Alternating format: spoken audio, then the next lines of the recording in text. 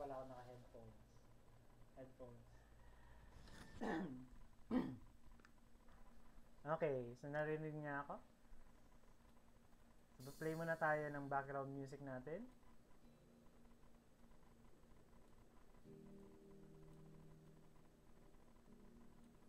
Ayan, so welcome back guys dito sa Edido Creo Music kung saan ay pinipreview natin ngayon si Killstrike at ang kanyang single na Bittersweet Memories Melodic Drum and Bass.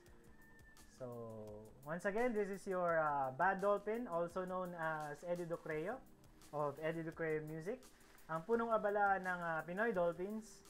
And uh, shout out again, once again, to our admin of the week, which is si uh, Ian Paya, ang may-ari ng uh, Music Universe PH. So, wala tayong ano dito, rehearse-rehearse, yung mga ganyan. This is all live.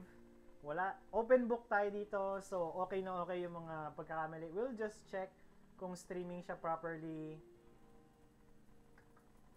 Tignan natin sa ating live dashboard.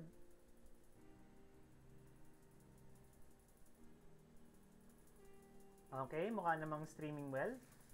Okay, at the same time, uh, itong araw na to i-unbox natin ang A-Data or ADATA. ADATA ba to? A-Data. Ayan.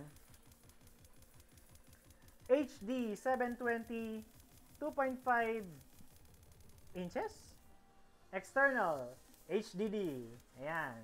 So, 1 terabyte siya. Nabili natin siya sa Mako Computer. Ito yung resibo. Ayan. 4,000 pesos. Madumi yata ko ko. 4,000 pesos worth siya sa Mako Computer. So, shout out kay Miss Girly ng Mako Computer. Hindi ko pa nagagawa yung video natin kasi medyo ngarag sa trabaho. Pero okay lang. Gawin natin yan yung pinamis kong video natin. Okay. So, ngayon, back tayo sa unboxing. May plastic pa siya. so, unbox natin tong isang to. So, may nakalagay tayo dito, waterproof daw siya. Waterproof. Submerged to 2 meters from for 120 minutes. Okay lang daw siya. Dustproof, military grade shockproof, shock sensor protection, 3-layer shockproof design. Parang ayoko i-testing kasi mahirap na. Wrap around cable storage, bright LED indicator. So, tin natin.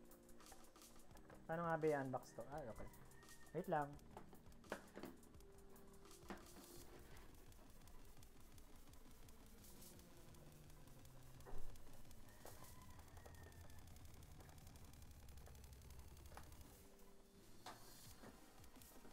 Okay, so bubuksan na natin yung A-data. Hopefully ay okay naman yung ating streaming.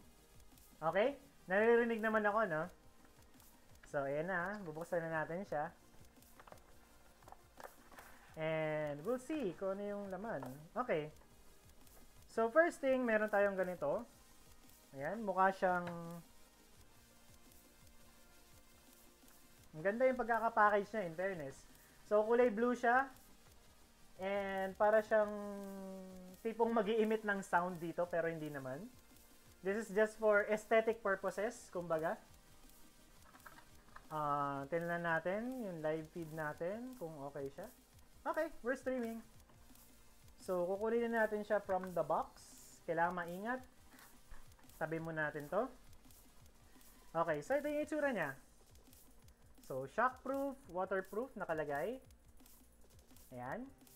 Shockproof, waterproof, and again, this is worth 4,000 pesos. Ito yung kanyang connector, cable connector. So, mamaya-maya, i-connect natin siya. Tanggalin lang muna natin yung USB natin.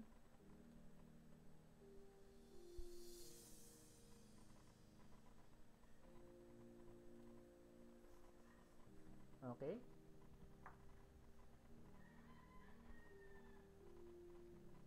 Ito din yung USB, HP 16 gig USB.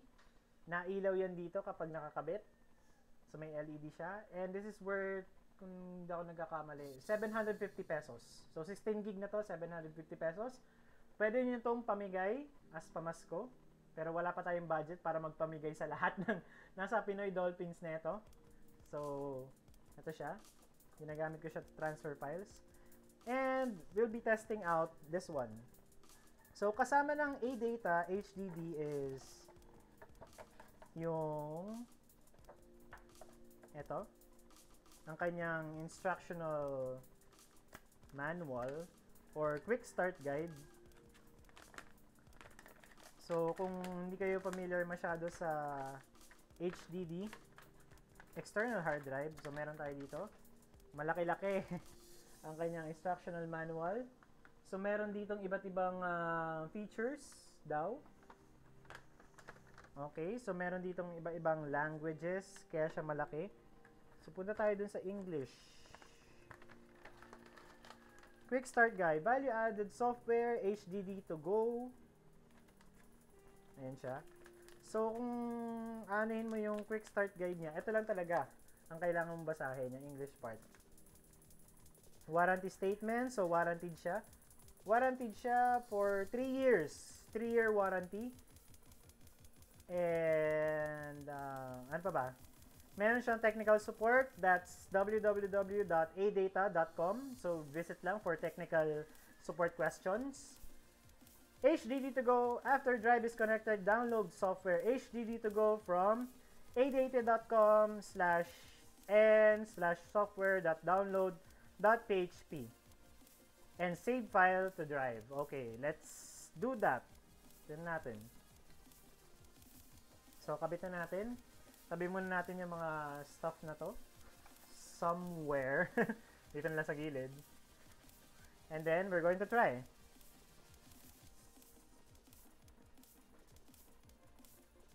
So, kinabit ko na siya sa PC.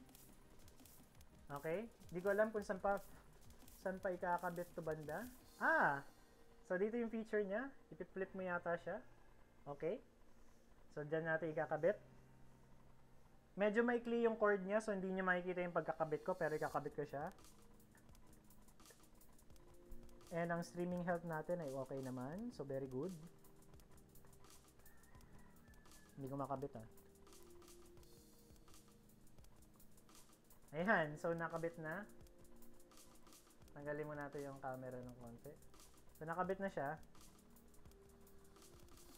Installing device cannot be successfully installed. Bakit kaya? Kasi natanggal. Ayan, babalik natin siya. So wait lang natin yan. USB not recognized. Keme keme. So tanggalin uli natin. And then ibalik. Okay, din natin. We'll see what will happen. So, habang naghihintay, again, this is a promotion of Killstrike's single, which is yung Bittersweet Memories. So, inaan ko lang siya. So, installing device driver software. Ayan, na-close ko tuloy yung ano. Okay. So, hintayin natin siya mag-install. So, nag-install siya ngayon. Ayan. So, ano bang pwede nating pag-usapan habang nag install siya? Okay, pwede naman tayo magbukas ng file na natin. Ito. Meron na tayong background ng Bittersweet. So, nag install pa rin. So, hayaan lang natin siya dyan. Huwag natin siyang istorbohin. Hayaan lang din natin mag-load up yung ating uh, Adobe After Effects CS6.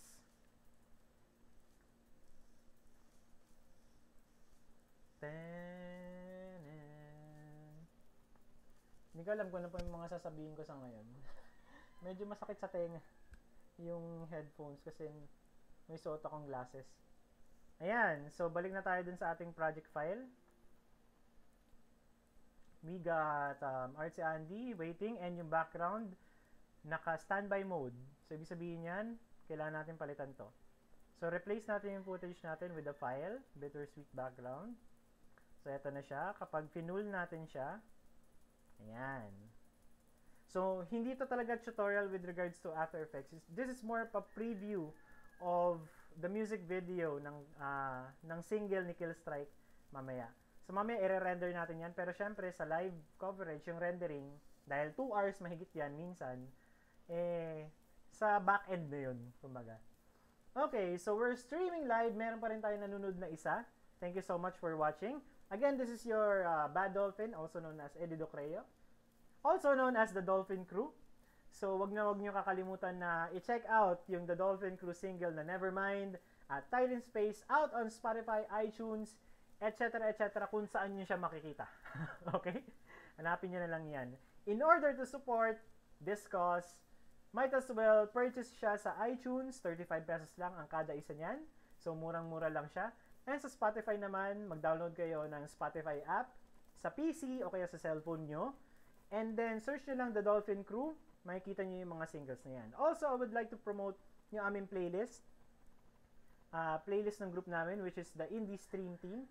Ang playlist namin, ang official playlist natin is yung uh, Saturday Night Playlist by Indie Stream Team or by Tip Squerdo. So, search nyo lang si Tip Squerdo. Hanapin nyo yung Saturday, Saturday Night Playlist. And then, i-follow ninyo yon And yung lahat ng mga artists na nandun, paki-follow na rin. okay? If may time kayo. Okay? So, with that set aside, let's go to the video. okay. Also, once again, this video is sponsored by Fitness Artists. Fitness Artists. It's all up to you. nah, just kidding. Fitness Artists, salute. Travis Gill. So, next step natin is yung ating actual na MP3 file. So, i-replace natin yan. Right-click and replace file with nung na-record natin, na Killstrike Bittersweet Memories. And then, syempre, visually, hindi siya magre-reflect dyan. Makikita nyo lang siya, uy, yung A-data natin, successfully installed. So, mamaya try natin yan. At the end, medyo at the end of the video na.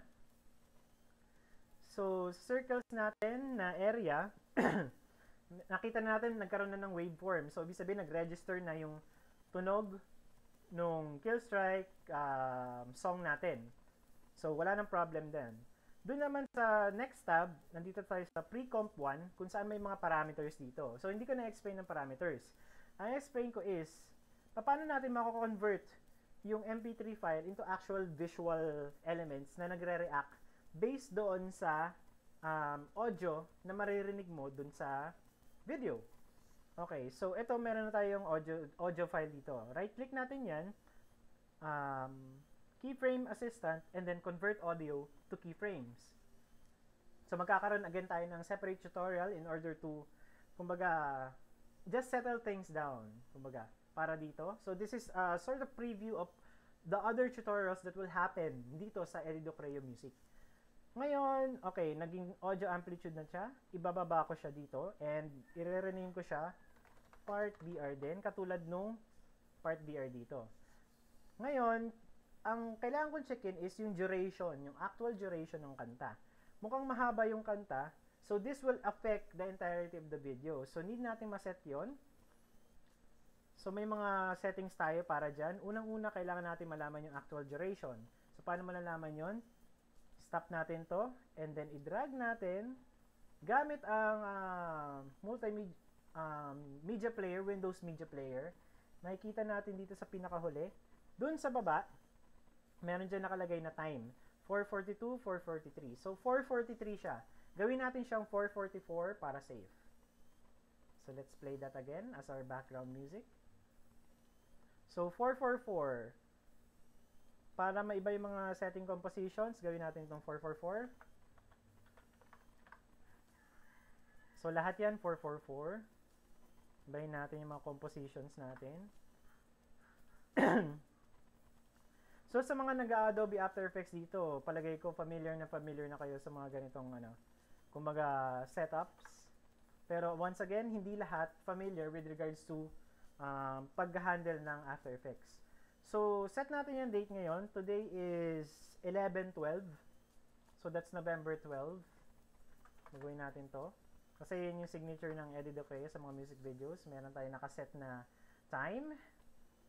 And then, i-drag natin to para to see the actual duration dito.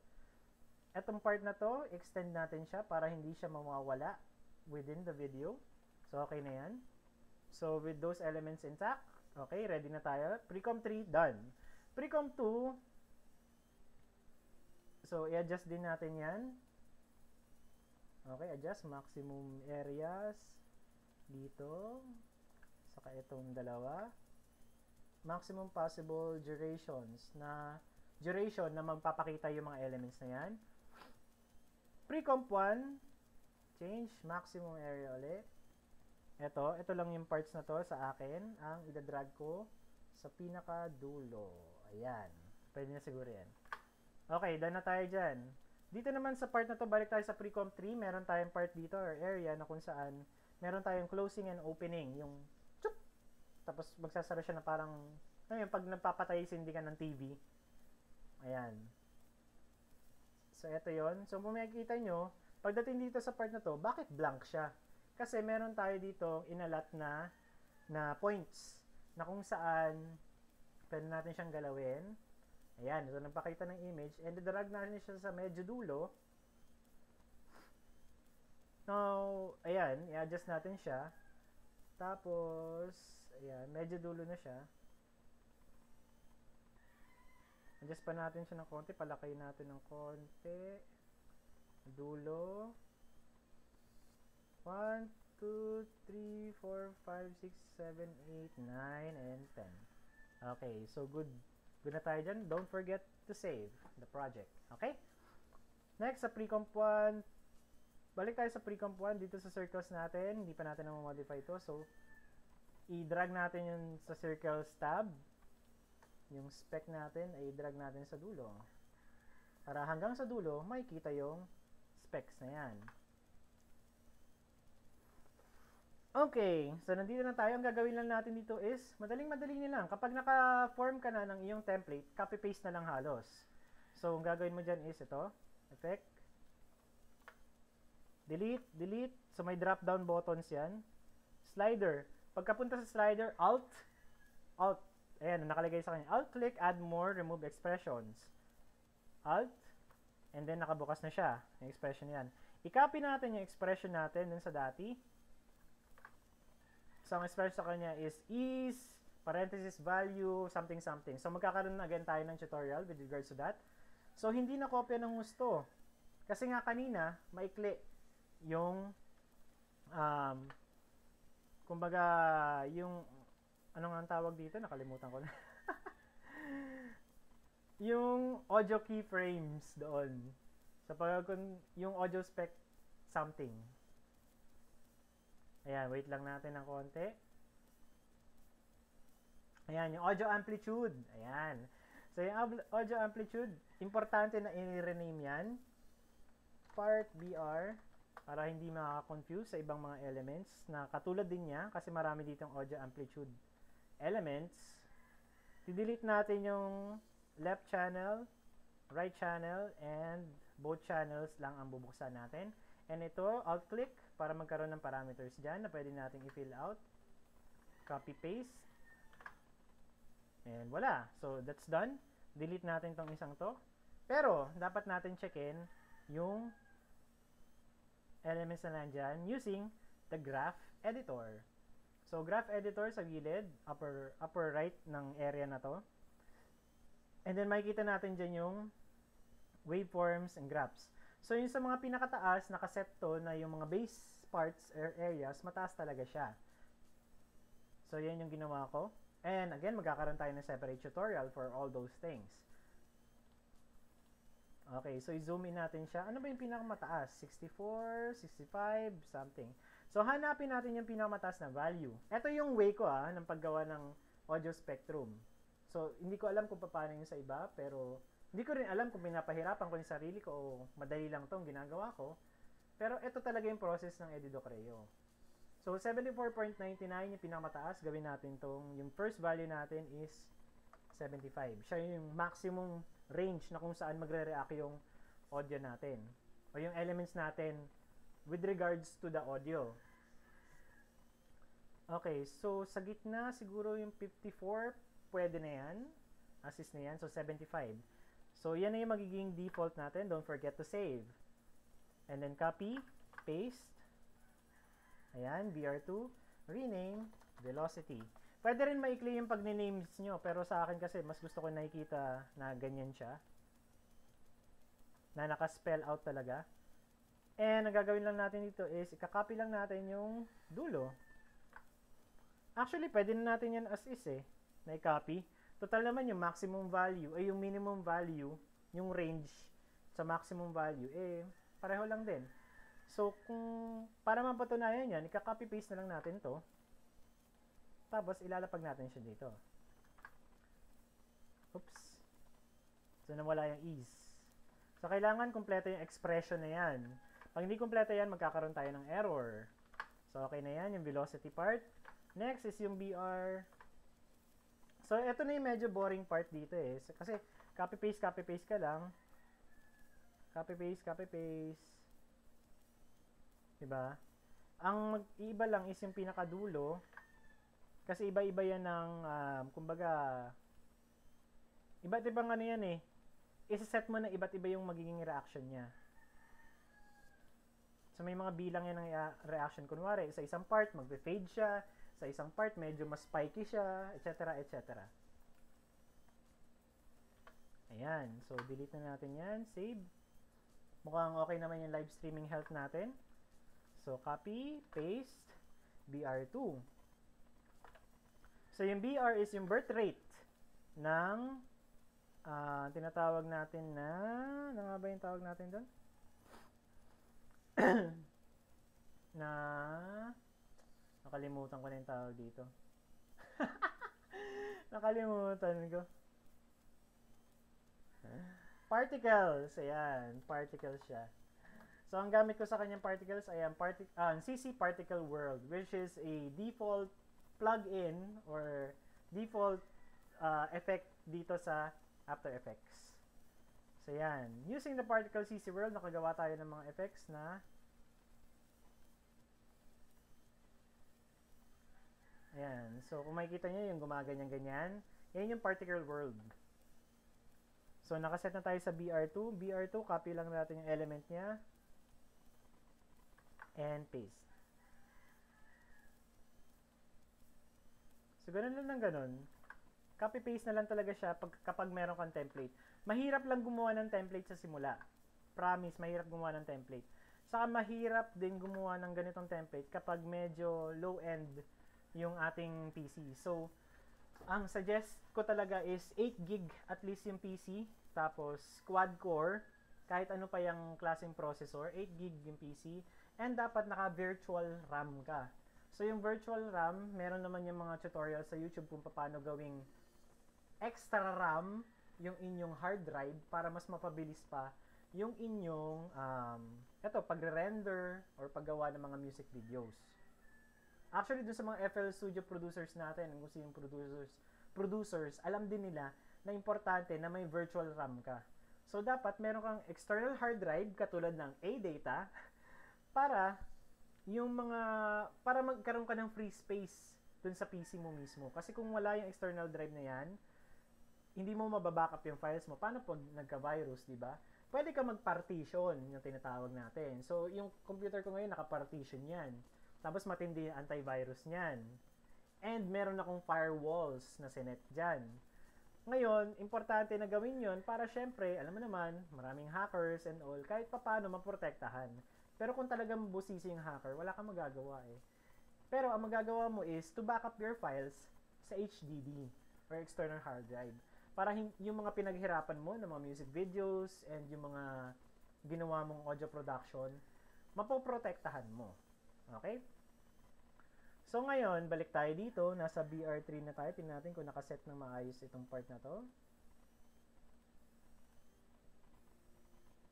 Okay, so just to be sure, kakopy tayo dito ng isa pa. Rename BR3. Copy natin yung parameters ng konti dito sa dulo. Delete. And then paste. Ayan. And then last element, scale. Scale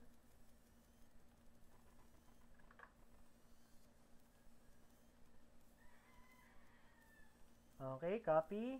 And then, paste. So, ganun lang siya. And yun din yung gagawin natin dun sa pre-comp 2 part.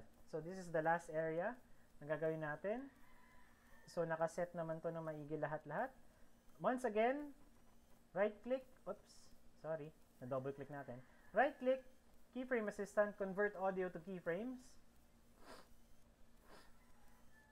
Okay, once na ma-convert natin yan, hintayin na natin siya. Medyo mabagal kasi kasabay natin yung OBS. And nag-work tayo, currently working tayo dito sa lumang PC natin. right click, FB, which is yung fast blur effect. So, kung saan nagbo-blur-blur siya ng konti. Buksan natin siya ng maigi. Delete natin yung left and right channels. Delete. And then, open natin to out to open expression. Copy. And then paste. Okay, delete na natin yung old expression na yan, or old element na yan, and save. So yan, never forget to save your project. Kumbaga. Scale 3. Ganun din uli. Tapusin na natin tong boring part na to, and then, babalik tayo sa pagsasalita.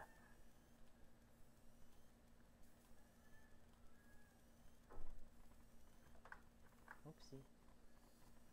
Dapat pala kinapi ko na lang ng buo yun. Kasi ganun din naman. Okay, so scale 3, copy paste, scale, so scale lang siya. Buksan natin yan, copy, copy the entire thing,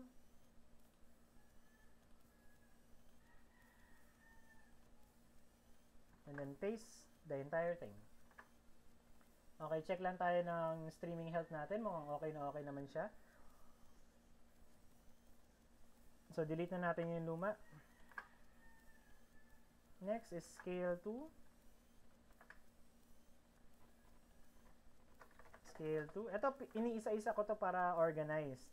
Kasi pag sabay-sabay mo yung pinis, mahirap eh. So, ito lang. Pero pwede nyo naman gawin yun. Depende sa capability nyo ng pag-organize ng mga bagay-bagay. And sa akin, gusto ko kasi, medyo isa-isa lang muna.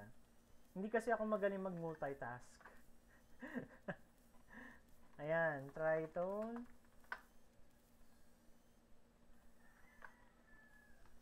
Ah, masakit yung leg ko. Kailangan ko na yata magpamasahe. Siguro mamaya-maya papamasahe tayo.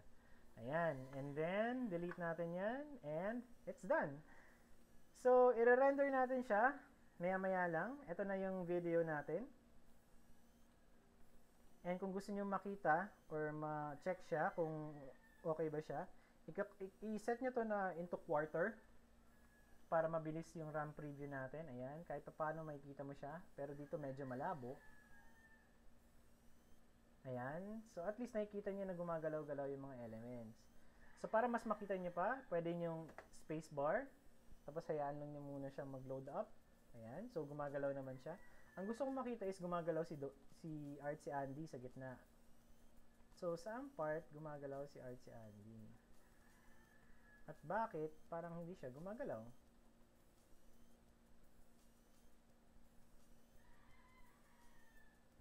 So, may kita natin yan maya-maya.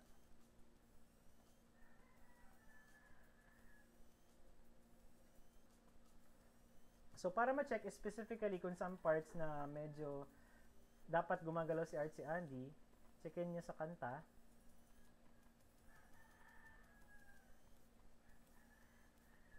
So, mga 133.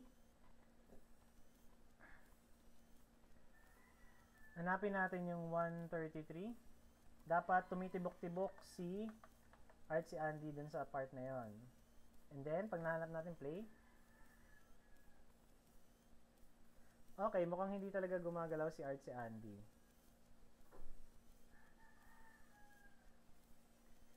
Okay, so, ayan, gumagalaw siya. Pero, un unti lang. Tignan natin, ibalik natin dito ng konti.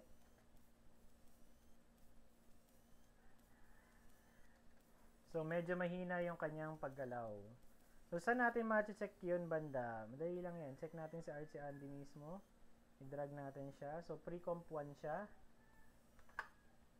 pre-comp 1, ibig sabihin yung scale. May problem tayo sa scale. Ibig sabihin parang bitin siguro to. Or kulang sa strength. So, sakupin natin yung 50 area para kay Archie Andy para tumibok-tibok siya. And yung tritone natin sa kanya is gawin natin 50 okay hopefully mas pronounce na ang kanyang paggalaw-galaw.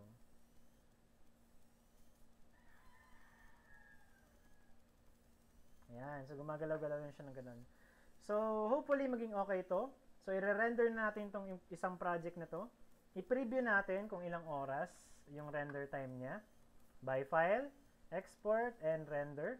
So, ito na siya, Precom 3, best settings, lossless. For now, ganito muna yung setting natin. And, make sure na nakaklik to, kasi pag hindi yan nakaklik, hindi gagana yung render. So, click natin siya, Precom 3, and then, let's render. Then, tingnan natin kung ilang oras gamit ang ating lumang computer. So, para hindi masyadong gumalaw yan, press caps lock para mag-lock lang image. So, 5 hours and 41 minutes ang nakalagay dito. Stop natin siya. We cannot afford 5 hours and 41 minutes dahil lalo siyang mas lalaki kapag pinatagal. Okay? So, hindi lang yung 5 hours for sure.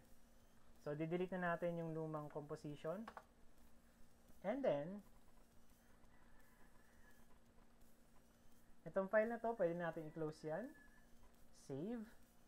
Ang gagawin niyan finally is, ito na tayo, sa end ng ating, um, kumbaga, preview slash tutorial slash unboxing. Ang gagawin natin niya is ito transfer natin siya dun sa ating bagong computer. So, yung bagong computer, kung matatanong nyo, is a 32 gig PC na pina-custom made natin sa Mako computer. Magkakaroon din tayo dyan ng uh, um, video presentation with regards to how, kumbaga, pinagawa yung computer na yon. Okay? So with that, guys, thank you so much for watching this video. Hopefully may natutunan kayo. And as we see here, um, dun sa isang nanood kanina, thank you, thank you for sticking around. And sa mga manonood pa, thank you so much for supporting Eddie Ducreo Music. Once again, shout out to our sponsor, Fitness Artist, to Travis Gill. So visit Fitness Artist at uh, www.fitnessartist slash ah, fitness-artist.com. So, check niyo yon yung site nila. And kung may mga kakilala kayo na nasa New York, yung mga kamag-anak nyo nasa New York, pwede nyo i-visit yung kanilang, um, ano to? Kanilang gyms sa Ludenville and Clifton Park. Okay? And with that, guys, thank you so much for watching this video. And don't forget to like, comment, and subscribe sa ating channel for updates. Huwag niyong kakalimutan na itik ang bell notification icon para at least ma-notify kayo with regards to the new releases, new songs, new tutorials, etc. etc. Dito lang sa tahanan ng mga Pinoy Dolphins, ang Eddie Ducreo Music. Okay? So with that, thank you so much. Humayo at magpakarami. Bye-bye.